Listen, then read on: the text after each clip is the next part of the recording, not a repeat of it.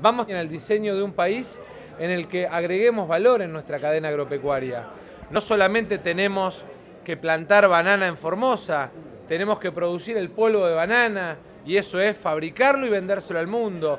No solamente tenemos que tener pera o manzana en el Valle de Río Negro, sino que tenemos que trabajar la producción de jugos concentrados, mirar la cadena de valor y sobre todas las cosas también bajar costos bajar costo impositivo para los productores y bajar costo logístico.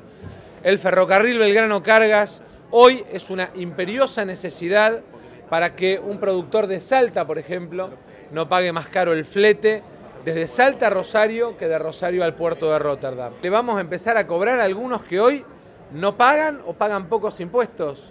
En la Argentina vamos a grabar la renta financiera si tenemos la responsabilidad de gobernar. No es posible que un productor tenga toda la carga impositiva que tiene y alguien que timbea en la bolsa sobre el resultado de una operación no pague impuesto a las ganancias.